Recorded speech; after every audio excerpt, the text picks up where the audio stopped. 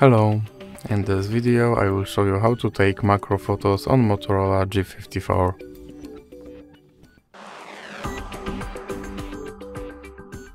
So you have to start with opening your camera application and now you have to click here on this flower icon and now your camera is in macro mode and you can take close-up pictures.